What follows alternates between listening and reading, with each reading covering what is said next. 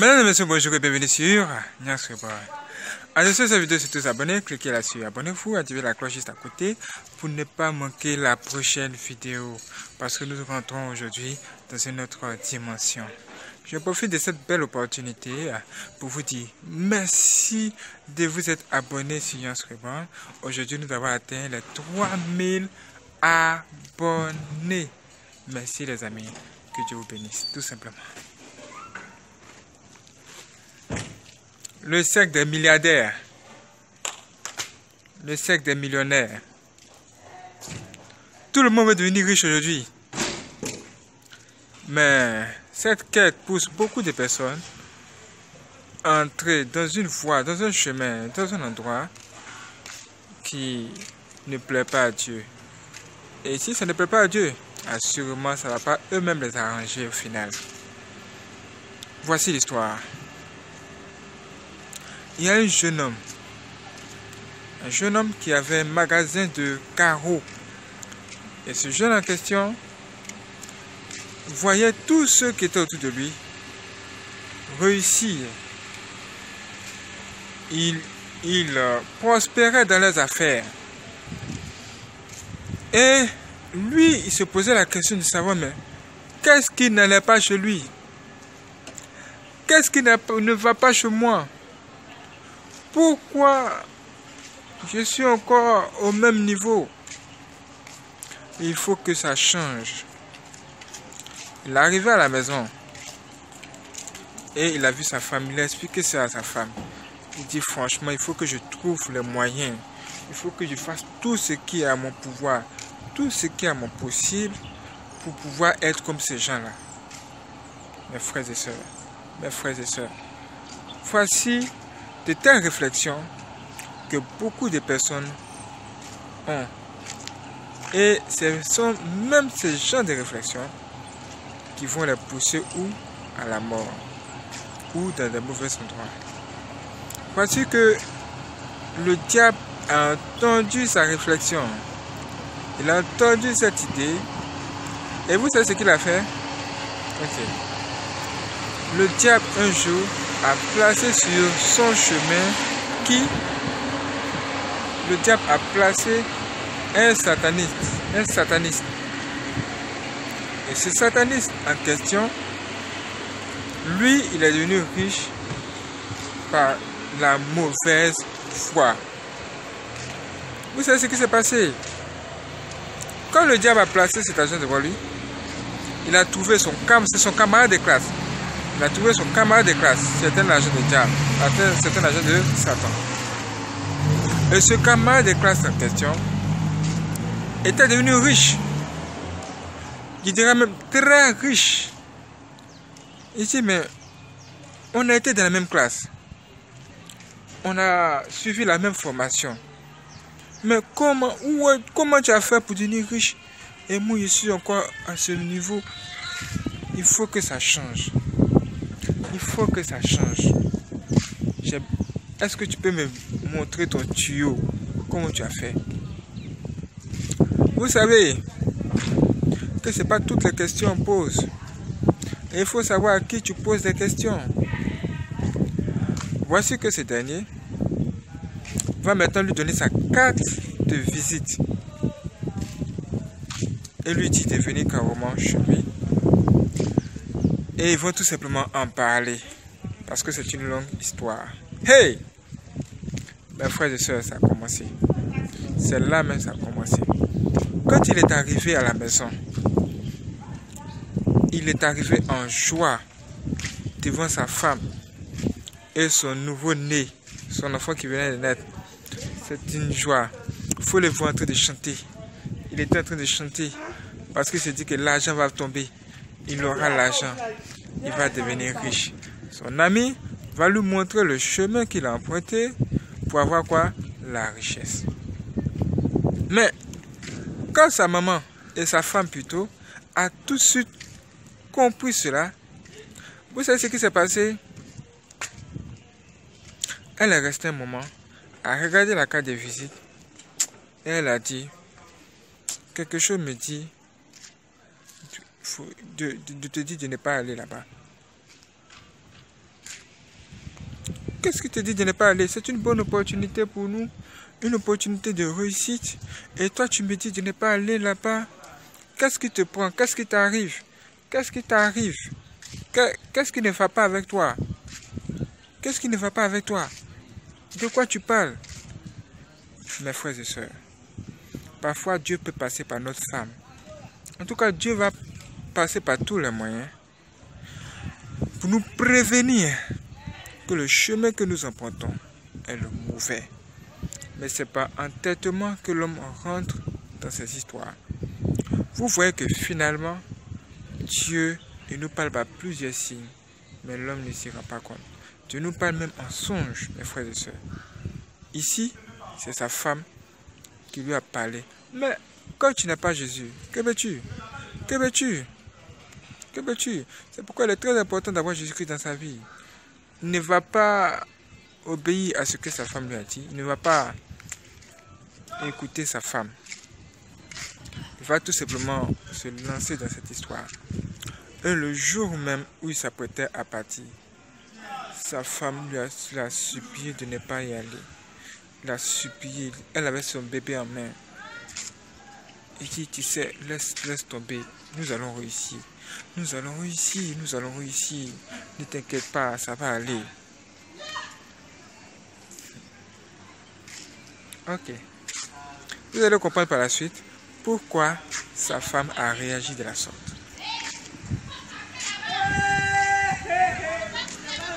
Quand il est arrivé à ce rendez-vous, il y avait là-bas plusieurs personnes. Ces personnes étaient venues avec de grosses voitures. Des voitures de, des millions, des, des Lamborghini, les toutes dernières voitures sorties. 400 millions, 500 millions, 1 million d'euros. Mes frères et soeurs, il y avait toutes sortes de voitures là-bas. Et il a eu à rencontrer maintenant son ami, son ami qui se trouvait où? Parmi les hommes riches qui se trouvaient parmi eux, comme ces gens que vous voyez là. Mes frères et sœurs, quand il est arrivé là, déjà il ne se sentit pas chez lui. Parce que vous voyez, tu, tu, es habillé avec un vêtement. Tu voyez un peu, vous voyez un peu de quoi ça parle. Et là-bas, ce sont des gens de classe, de haute vie. Il s'est senti gêné, mes frères Il s'est senti gêné, mais comme c'était son ami, et que c'est son ami qui l'a invité, et qu'il avait la carte de visite, donc il a fait, il a pris ça comme ça. Il a continué son chemin, mes frères et sœurs. Et voici qu'il va se mettre à causer avec son ami.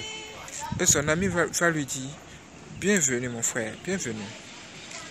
Tu dis que tu veux avoir un changement de situation? Il dit en effet, franchement, je souffre trop, il a besoin que ma vie change aujourd'hui. Et dit ok. Tu sais, tu sais que pour réussir, parfois, il faut faire des sacrifices. Il dit il est prêt à faire tout ça des sacrifices. Tant qu'il peut, tant qu'il va réussir, tant que sa vie peut changer seulement, lui, il est prêt à faire toutes sortes de sacrifices. Mais il ne savait pas ce qu'est sacrifice. Il allait lui demander quel genre de sacrifice. Il allait lui, lui demander. Il ne savait pas. Il ne savait pas.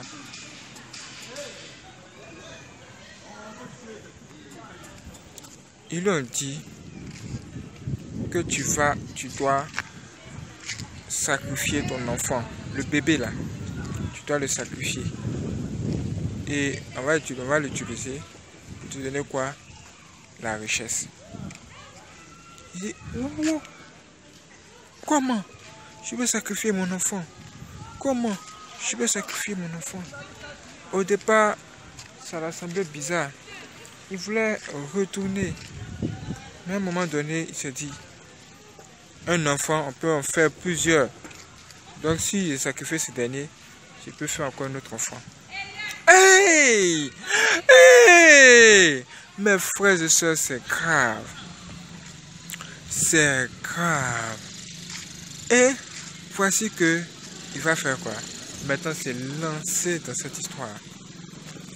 Et il a, il a donné cet enfant-là en sacrifice. Quand il est arrivé à la maison, il a pris son bébé dans la main et et remuait sa tête. Sa femme ne comprenait pas, mais qu'est-ce qui t'arrive? Qu'est-ce qui s'est passé là-bas? Comment ça a été? Il, dit, ouais, c'était bien. C'était bien. C'était bon. C'était bon. Il n'a pas dit à sa femme qu'il a sacrifié cet enfant. Il n'a pas dit. Quelque temps plus tard, cet enfant est tombé malade. Il a commencé à manifester une maladie étrange. Lui, il savait que cet enfant n'avait pas une maladie qu'on on pouvait guérir. Il savait que l'enfant allait mourir. Mais il a déjà fait le sacrifice. Il ne peut, rien dire à sa femme.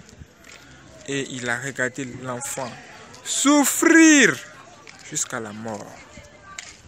Mes frères et sœurs, ce que se passe dans ce monde, dans ce monde où nous sommes, dans ce monde est trop grave, mes frères et sœurs.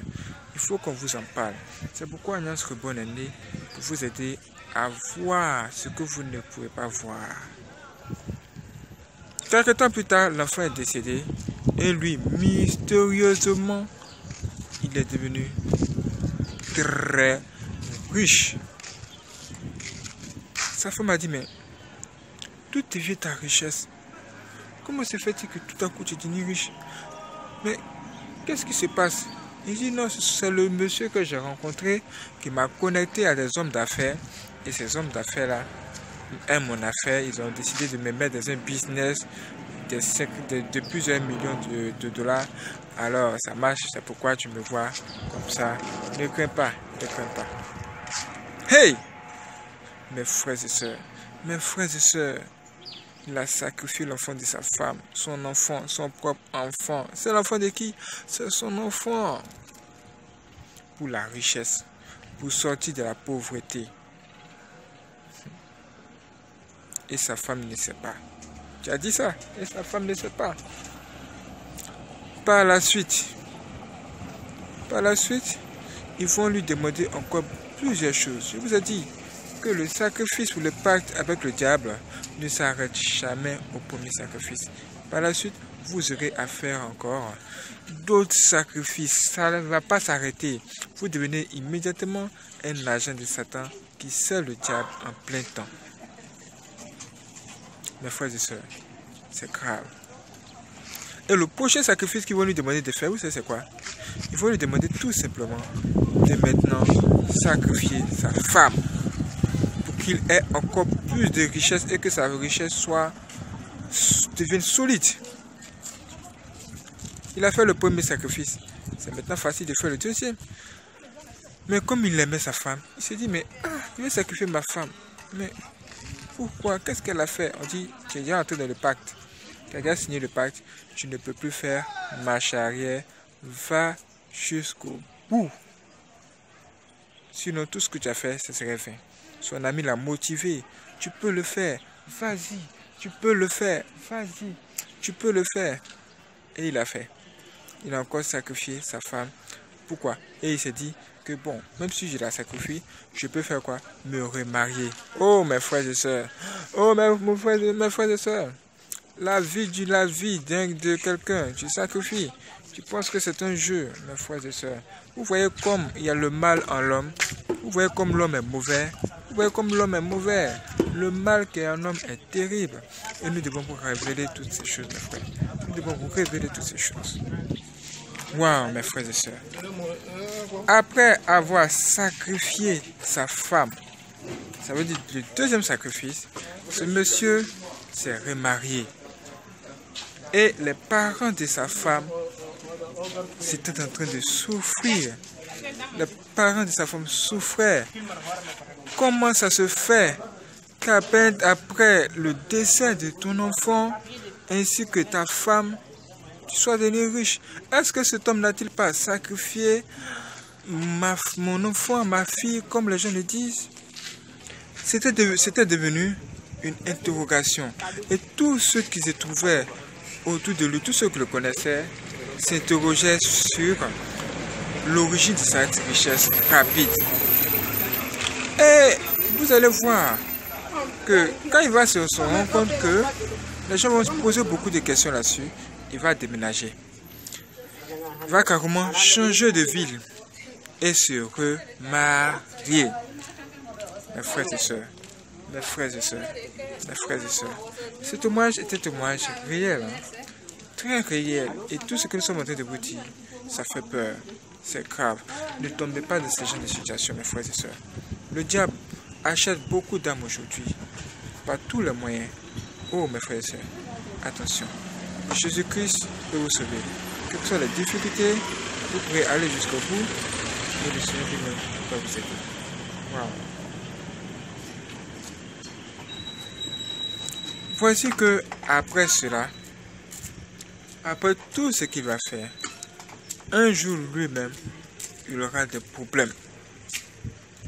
Hmm. C'est là, ça va maintenant tourner mal. Et voici les problèmes qu'il va avoir. C'est qu'il a remarqué que sa main droite a mystérieusement eu une maladie bizarre. C'était une blessure bizarre qui se trouvait où? Sur sa main. Et il a soigné, il a tout fait pour que cette maladie disparaisse, mais ça n'a pas marché. Tous les docteurs, toutes les personnes qu'il a consultées ont échoué. Ils ont échoué. Alors, il s'est rendu chez ses collègues, chez son ami et ses nouveaux camarades milliardaires. Et il les a exposés tout simplement ce problème. Et vous savez ce que ses amis lui ont dit? C'est le seul problème que tu as. Il dit non, c'est pas le seul problème. il y a un autre problème encore qui est là. C'est que la femme qui a ma femme qui a sacrifié la nuit vient la nuit avec le bébé en main et ils se mettent tous à pleurer dans la maison. Je n'arrive pas à dormir. Toute la nuit, c'est pareil. Toute la nuit, c'est pareil. Est-ce que vous pouvez m'aider? Depuis matin, tu m'as pas vu. Tu ne pas demander à Vous savez ce que ses amis vont lui dire? Mon frère, mais tu es devenu milliardaire, non? Il dit, mais ah, je suis devenu milliardaire, mais tout ça, est-ce que vous ne pouvez pas faire quelque chose pour moi? Ils lui ont dit, toi, c'est le seul problème que tu as. Attends, nous aussi, on va te montrer le problème que nous avons. Et chacun d'eux va maintenant faire quoi Révéler le problème que eux ici, ils ont chez eux. Il y a un qui dit, celui-là, mais son ami qui l'a amené dans cette histoire, il a dit, chez moi là, j'ai un fou. Je l'ai sacrifié à cause de ça. Et vous voyez, hein, tu vois un peu ce que ça fait. Il est fou, il est à la maison, toujours, il doit le supporter. Nous sommes, c'est obligatoire. Il y a un autre qui va dire, c'est pas tout. Regarde, regarde-moi, il va, faire, il va soulever son chapeau. Et sur son chapeau, à la place de ses cheveux, c'est une plaie qu'elle a. Une plaie dans laquelle, que le passe, voilà, une plaie dans laquelle sortent constamment des, des, des, ça va vous faire peur, ça va vous donner couper l'appétit. Si vous êtes en train de manger, mettez pause d'abord, finissez de manger avant de continuer la vidéo. Mettez pause. Il y a des asticots qui sortent de cette plaie-là, qui se trouvent carrément sur sa tête, mes frères et sœurs. Waouh! Et c'est ce qu'il doit supporter tous les jours. Ça fait que ce monsieur, partout où il va, il a toujours un chapeau sur sa tête. Il y a un autre, c'est son pied. Il a une plaie sur son pied. Aussi des asticots en sorte. Il ne peut, il ne peut pas soigner ça. Malgré les milliards, qu'il a, il ne peut pas le soigner. Pourquoi? Parce que c'est le prix à payer pour la richesse, pour le succès. Combien de personnes ont-ils fait de tels sacrifices? Combien de personnes sont-ils passés par ce genre de choses? Waouh ce n'est pas le premier cas. Après les mêmes tentatives pour essayer de corriger ce problème, il s'est retrouvé encore à l'hôpital après de nombreux échecs. Nombreux échecs. Et arrivé à l'hôpital, il était couché là-bas. Ça n'allait pas. Le docteur lui a dit franchement, on ne peut rien faire pour toi. Il s'est retrouvé où? À la maison, au village, chez ses parents. Ces milliards ne lui servent plus à rien. Sa grosse villa qu'il a achetée là, il ne peut plus dormir dans cette maison. Il, ses voitures, il les a laissées pour compte. Il ne peut plus les toucher. Pourquoi? Parce qu'il est malade. La santé n'a pas de prix. Et voici qu'il est en train de souffrir. Et se décomposer tout seul. Il pourrit seul. Oh mes frères et sœurs, il est là en train de pourrir sur lui-même. Décomposé. Un homme qui est vivant et qui est décomposé. Vous ne pouvez pas imaginer combien de fois ses parents ont dû supporter cela jusqu'à ce qu'un jour lui-même, il meurt à son tour. C'est terminé. Il a fini par mourir à son tour. Waouh! Quel stupéfiant destin. Quelle mauvaise histoire. Ça veut dire que tous les pactes avec le diable finissent toujours mal. Parce que le mal, c'est l'incarnation, parce que le diable plutôt, c'est l'incarnation du mal. Et voici comment ce monsieur est décédé. Quand il est décédé, tous les milliardaires de ce temps-là avec qui il a baptisé sont chez lui. Nous, en parlerons dans la partie suivante. Abonnez-vous à cette vidéo, activez la cloche, ne pas manquer la prochaine partie. A bientôt. Vous voyez, ce témoignage n'est pas terminé. Il y aura une suite. Alors, abonnez-vous rapidement sur cette vidéo, activez la cloche pour ne pas manquer la suite. Waouh, ça va être chaud. Vraiment chaud. Non, ce pas